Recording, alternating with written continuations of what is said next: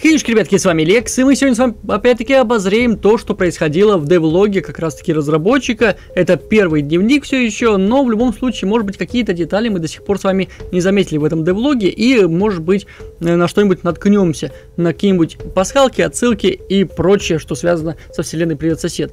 Надеюсь, вам нравится данный формат, надеюсь, вам нравится данная игра Hello Neighbor, и обязательно ставьте лайки, поддерживайте рубрику, и погнали! Вперед смотреть, что же мы там такое могли поупускать. Смотри, короче. Э, вот наш э, гость, вот наш сосед, это все мы уже видели. Это все интересно, но мне вот интересно все-таки просматривать подробности. Э, какие-то, может быть, элементы, какие-то штуки, которые мы могли упустить. Ну, мы это уже знаем, то, что сосед наш запирает дверь в подвал. Опять-таки, вот единственный вопрос, да, что же он прячет в этом подвале? Э, если мы знаем, что наш сосед прячет э, как минимум Ника Рота у себя в доме, там же он прячет как минимум и своего сына Аарона. И предположим, что в этот момент уже Мия мертва, то что же он может прятать в этом подвале? В подвале другого дома. Потому что, как мы знаем с вами, момент игры, да, вот э, когда у нас происходит действие игры, это ровно момент, когда у нас похищены все трое этих детей. То есть дети соседа, неизвестно куда пропали, и ребенок э, его соседа. Короче, ребенок, который живет через дорогу возле соседа, Никрот, тоже куда-то пропал. Никто не знает, куда они пропали, все думают, что дети пропадают, очень страшно, и все. И на этом моменте, как бы, мы с вами уже знаем, что сосед держит детей э, запертыми. То есть Мию и Аарона он как бы и так из дома не выпускал до момента еще смерти Мии. Потому что мы с вами понимаем то, что он начал за них беспокоиться после смерти жены, э, то, что они все, все время теперь дома сидят, э, ждут отца. Он их никуда не отправляет, потому что очень сильно боится очень сильно боится после потери своей жены. И, разумеется, происходит следующая ситуация, что Аарон случайным образом скидывает ее с крыши. Эту Мию, Мия разбивается. Предположим, что Аарона после того, как вот это все случилось, он привозит в этот дом. Потому что, а где ему еще быть, как не в этом доме? Да, да мы с вами помним, что Ника освободил как раз таки э, сам Аарон, Никорота. Может быть, он освободил его в момент, когда сосед как-то его привез обратно в свой же дом изначальный. Кто знает. Потому что, ну что он может прятать в этом доме? Я лично не понимаю. Может быть, какие-то орудия. Орудия пыток над детьми. Ну, я вообще считаю, что сосед как бы он э, придуман очень добрым персонажем. Он придуман не злодеем. Просто он попал в такую ситуацию, где ему нужно быть злодеем, иначе э, вся его остальная семья и сам сосед пострадают от этого. Разумеется, тюрьма и все остальное. Поэтому очень-очень странно э, лично видеть для меня второй дом. Я понимаю, когда второй дом мы видели у Ворона. Ну, то есть Ворон это вообще другой персонаж. И понимаю, в чем прикол. Ну, то, что это вообще отдельная история с этим вороном. Но сосед-то что там забыл в этом другом доме? Это, если что, если вы не понимаете, это не тот же самый дом, в котором живет ворон. Это разные дома. То есть у соседа, как я понял, есть два дома, и один дом находится в Вороньих ручьях, и второй дом находится где-то недалеко от Вороньих ручьев, но опять-таки не в этом же городе, как я понял. И второй дом, как мы сейчас можем наблюдать, они находятся возле дома ворона. То есть это даже третий дом получается. Мы сейчас наблюдаем картину, когда сосед уехал от дома ворона, в котором он находился. То есть это синий дом, дом, в котором как раз таки происходит действие Hello Neighbor 2, Альфа 1. Э, здесь, получается, сосед уехал из этого дома. Что он делал в этом доме, непонятно. Может быть, у него есть какие-то дела с вороном. Может быть, он как-то с ним контактирует. И получается, ну, кстати, видишь, все облепили как раз таки полицейской лентой. И получается, он поехал в один из домов своих двух, которых у него остались. То есть у него есть дом, который мы видели в трейлере, э, в девлоге, и до этого еще в трейлере самой Hello Neighbor 2. И обычный дом, который мы видели в самой игре. Э, в Hello Neighbor 1 еще. Откуда у тебя столько домов? Зачем тебе столько домов, сосед? Как же это странно. Я так понимаю, разработчик для того, чтобы добавить какие-то определенные моменты в игру новые, которых не было до этого, он просто может сделать так, что оп, здесь был со- у соседа, оказывается, был еще один дом. И он все из этого дома может достать, все новое. То есть у него не было чего-то, он взял, хоп, из дома этого достал. Э, вопрос даже, наверное, в том, что мы видим в Hello Neighbor 1 и 5. Помните, нам дают листовку, что пропали еще какие-то дети на Хэллоуин. А пропали дети абсолютно не связанные с сюжетом первой части. Пропали дети, которые просили конфет у ворона. Если этот ворон ворует этих детей в этот же момент, момент э, происхождения, то есть э, момент, когда у нас пропали и Мия, и Аарон, и Ник, то где листовки этих детей? Почему в первой части листовок этих детей не видим? Просто многие говорят то, что э, сюжетная часть, да, вот эта вот составляющая, она идет одновременно с пропажей Ни, Ника, Аарона и Мии. Но мы с вами никаких листовок не видели в первой части. Как это может быть одновременно, если это, это не может быть так? Э, скорее всего, как я думаю, то, что происходит с Вороном, и то, что он своровал детей, это уже будущее. И там уже новая листовка э, с новыми детьми, и в момент, когда мы играем уже в 1.5 Hello Neighbor 2, то мы не видим уже листовок с Аароном, с Ником и Мией. Все потому, что они уже освобождены от соседа. И сосед в этот момент находится в бегах. Как я думаю. То есть это у меня такое предположение. Если вы не понимаете, о чем я, то посмотрите просто хронологию того, как происходил, происходила э, игра Hello Neighbor. У меня есть на канале много видосов по разбору того, как это все происходит, сюжет Hello Neighbor, так что обязательно гляньте. Скорее всего, опять-таки, как я и говорил, то, что происходит с Вороном, это будущее. И, возможно, каким-то образом Ворон это является, э, может быть, он действительно является и сам сосед. Почему сам сосед, вы спросите?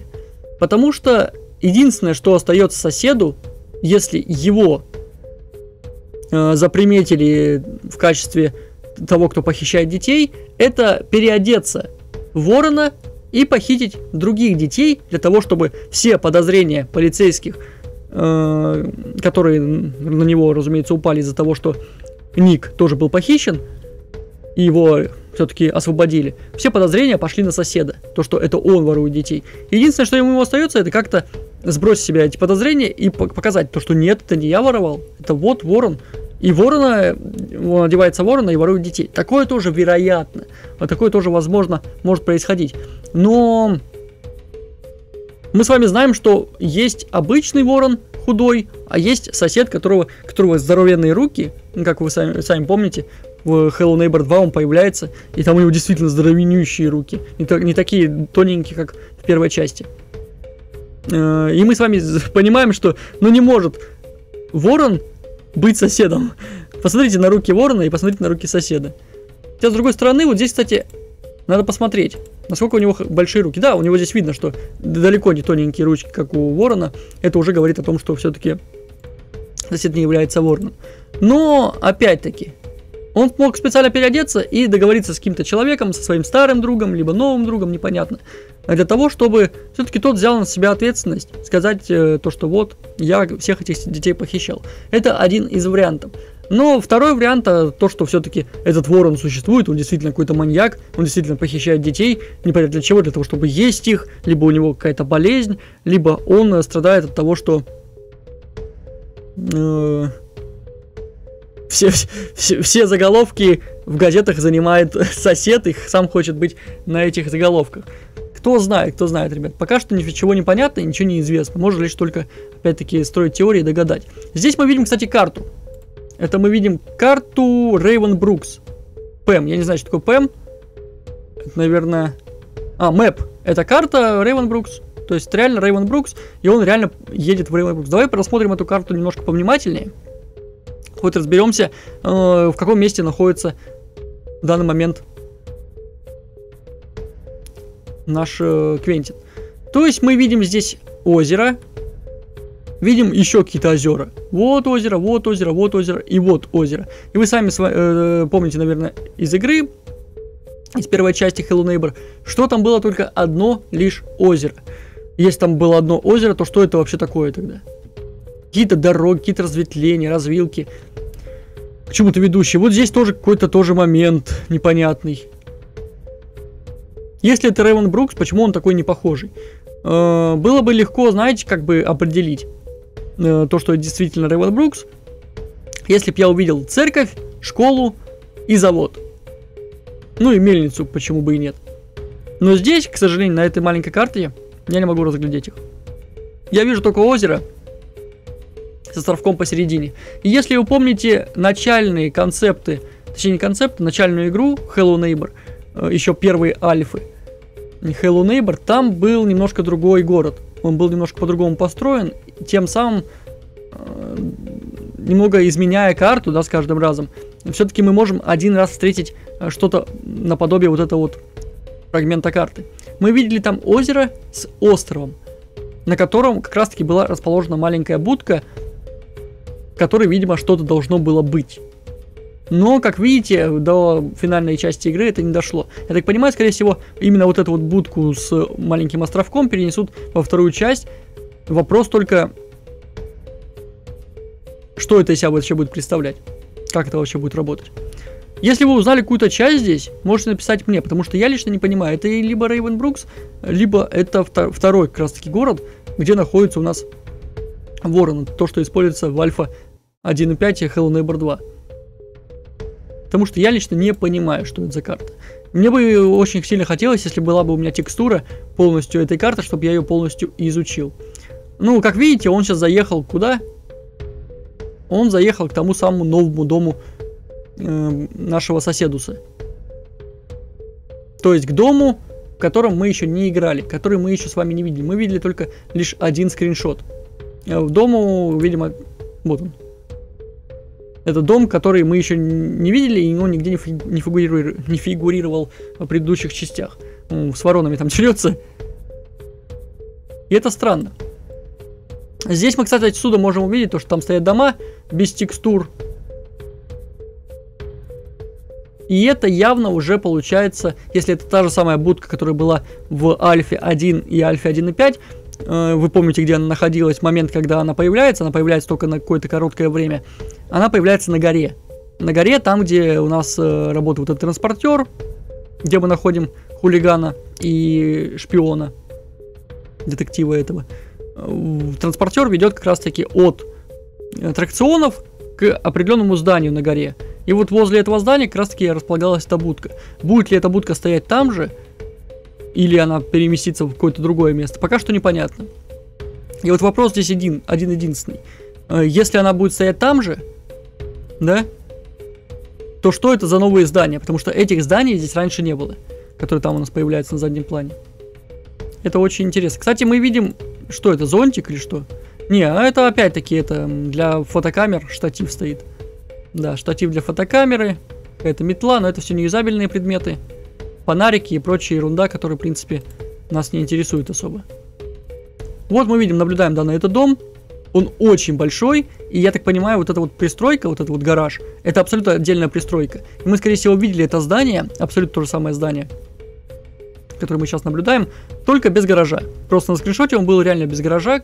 Если вы помните, мы разбирали данный скриншот, и там, к сожалению, гаража нету, и там специально как будто оставлен, оставлено место для этого гаража, но его нет на месте. Так что я думаю, что этот гараж пририсовали уже отдельно. Присобачили. Здесь на деревьях мы можем увидеть всякие листовочки. Но опять-таки повторяю, именно тех детей, которых своровал Ворон в Альфе, мы здесь не наблюдаем. Может быть, нас вообще обманывали в Альфе и не будет ничего такого в полной части игры. Здесь нам показывают, как работает АИ, то есть искусственный интеллект соседа. Здесь мы наблюдаем то, что Сосед выезжает из дома, но, опять-таки, кто стоит, снимает? Я нифига не понимаю. То есть мне один человек пишет э, в комментариях то, что как это может снимать шпион, если шпион там стоит дальше с людьми. Ну как он там с людьми стоит? Там не стоит же шпиона никакого. Вот он сейчас проедет, да? Блин, здесь никак не заснять, не посмотреть. Он сейчас проедет сосед, и, и в предыдущих видео, да, которые были, давным-давно мы еще с вами смотрели все это, обозревали. Э, сосед проедет через полицейских, там не было шпиона. И, скорее всего, шпион и является тем, кто снимает, потому что иначе снимает какой-нибудь ребенок. Это максимум, что остается, потому что Квентин как раз-таки едет э, напрямик к этому дому и встречает как раз-таки соседа, только отъезжающего от данного дома. Так что Квентин это точно отпадает. Шпион. Если он действительно стоит с полицейскими рядом, то он тоже отпадает. Но, как мне кажется, он как раз таки заснял, успел заснять Питерсона, и только после этого, на каком-то фрагменте, если его действительно видели шпиона вместе с полицейскими, он пошел туда, э, разговаривать с копами. Видимо, для того, чтобы сказать, вот, а это был Питерсон, он уехал, я его заснял. Почему бы и нет? Но я лично не помню моментов, когда шпион стоял там вместе с полицейскими. Может быть, там были какие-то скриншоты. Но лично прям, чтобы мне это врезалось в память, такого не было. Здесь мы наблюдаем вообще неизвестный город, вообще неизвестный. Я этого вообще не помню. То есть это получается абсолютно другая локация, абсолютно другая часть города, которую мы с вами не наблюдали. Хоть многие пишут там, вот, будет в определенном месте, которое мы уже играли, но нифига подобного. Какой-то здание, в котором э, работает Квентин, да, такого не было. Здесь какое-то здание новое, тоже непонятно какое, какая-то мэрия или не знаю, что еще. Все что угодно это может быть. Здесь река. То есть здесь опять-таки вода, и вон там какие-то острова есть. Возможно, это именно то, что было нарисовано у Квентина на карте. То есть, возможно, именно та часть, которая была изображена на карте у Квентина. Город тоже довольно-таки близок. То есть, если вы помните, в Рейвен Брукс, когда мы приезжали к соседусу в первой части, он был не близок. Кстати, это написано, что это дом как раз-таки соседа. Если это реально дом соседа, то как же так совпало, что Квентин живет прямо... Ну, то есть, э, работа Квентина находится прямо перед, перед э, соседом. Как же это странно. Видишь, кто-то будет жить здесь, кто-то будет жить здесь, кто-то будет жить здесь, и здесь, и здесь, и везде. То есть нам показывают то, что в весь этот город он будет живой. Если он будет живой, что же там будет за персонажи? Будут ли они влиять на сюжет?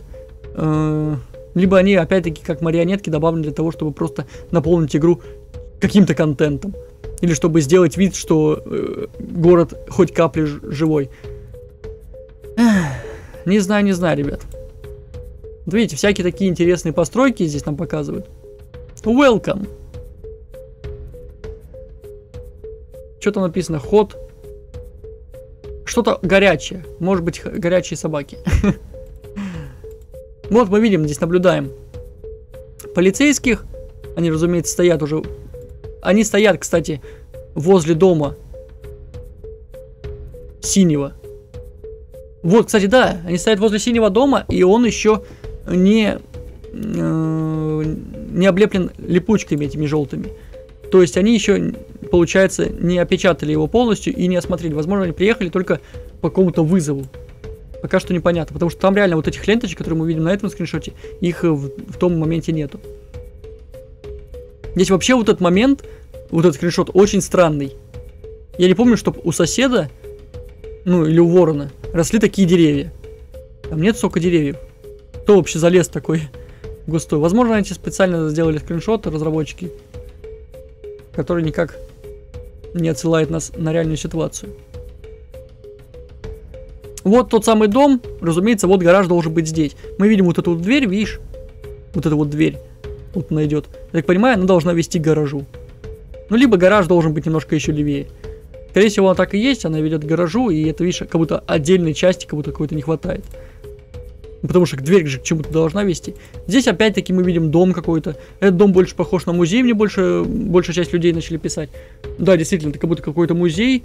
Может быть, здесь мы будем разговаривать с какими-то людьми, с каким-нибудь офицером главным, который нам даст задание, либо наоборот скажет не лезть не свое дело.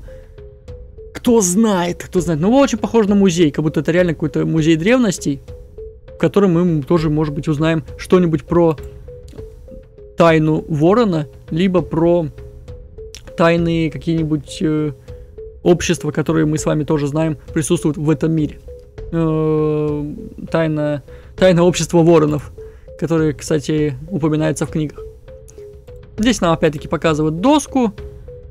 Здесь мы видим шпиона, который за всем следит. Те же самые фотографии. Вот мы видим опять-таки, как выглядит спереди тот, то самое здание, в котором работает Квентин. То есть, получается, Квентин э, живет прямо рядом с э, соседом. Сосед живет почему-то там, прямо перед ним. Что он там вообще делает, непонятно. Если он там живет, и мы это знаем, почему мы не доложим это полицейским? Ой, как странно все, ой, как странно. И ничего не понятно. Потому что вот, смотри, вот э, в момент игры у нас уже, видишь, на этом скриншоте мы видим, что если по доске, да, судить, что ребенок вот этот вот, вороненок, он пропал. А что если пропавшие дети это не будущее, а наоборот прошлое? Такое же тоже может быть.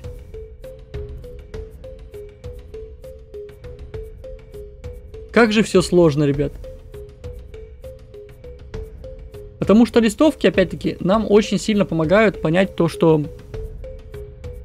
они одновременно не, не пропали никак. Ну не, не может быть такого, чтобы эти дети пропали вместе с э, Ником, Мией и Аароном. Но если они не пропали вместе одновременно, да, в то же время, то в какое время они пропали? В прошлом или в настоящем? Ну, судя по тому, что есть шпион, и он выглядит абсолютно так же, как и в настоящем, Ой, ребят, очень сложно. Очень сложно. Если все-таки появятся листовки новые, да, в Hello Neighbor 2, это все-таки будет отвечать на вопрос вот этот вот. То есть они реально пропали одновременно. Но это ломает немножко лор, получается, первой части игры, если это так будет действительно. Нам показывают новых этих чуваков, показывают соседуса. То, что он опять недоволен всем, чем происходит с ним. Можно будет прятаться опять в объектах. Да, ощущение, как будто это какой-то музей искусства, музей древностей, потому что вон там всякие картины, всякие абстрактные, опять-таки, вещи, всякая мебель прикольная. Такое ощущение, даже как будто он здесь не прячется, а наоборот работает каким-то охранником, я не знаю. Здесь мы можем, кстати, новые скриншоты наблюдать.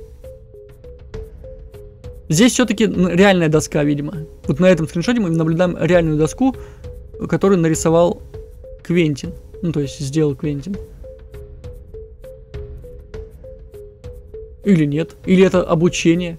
Это, скорее всего, ребят, обучение реально. То есть, видишь, нам будет показывать, что ключ к чему-то используется, ведро можно облить на соседа, э, ломики можно использовать на, на досках, на специальных ключ там куда-то используется, и он лежит в какой-то специальном шкафу. Здесь где-то ключ. То есть у него все, видишь, расписано так, чтобы нам было проще понимать и играть данную игру. Это интересно. Это интересно.